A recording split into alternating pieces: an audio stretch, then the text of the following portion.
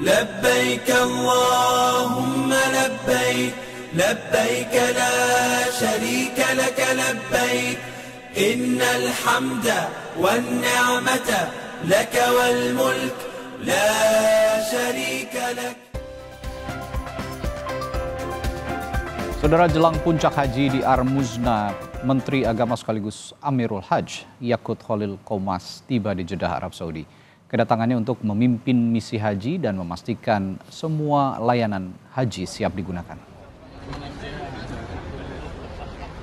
Menteri Agama tiba di Bandara Internasional King Abdul Aziz, Jeddah, Arab Saudi beserta rombongan dari Kementerian Agama dan Kesehatan. Kedatangan Menteri Agama bersamaan dengan kesiapan pelaksanaan puncak haji di Armuzna tanggal 15 hingga 19 Juni mendatang. Gus Yakut mengaku berkoordinasi terus-menerus dengan pemerintah Arab Saudi untuk menyiapkan layanan haji terutama di Armuzna. Menteri Agama juga telah mendapatkan keputusan hukum dari para muhtasyar ormas Islam terkait dasar hukum murur.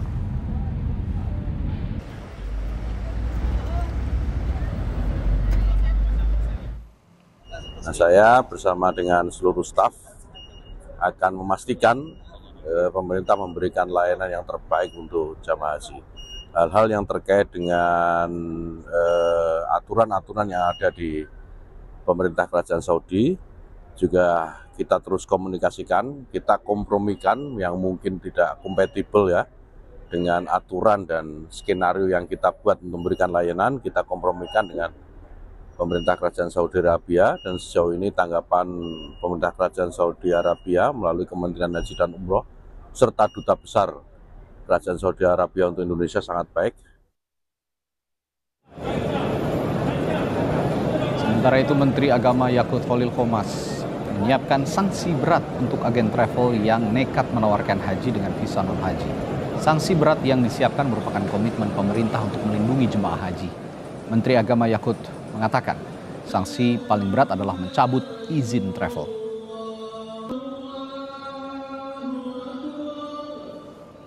Saya sudah perintahkan Pak Dirjen untuk melakukan tindakan tegas terhadap travel-travel yang seperti ini. Travel-travel yang tetap nekat memberangkatkan jamaah dengan menggunakan visa di luar visa haji resmi.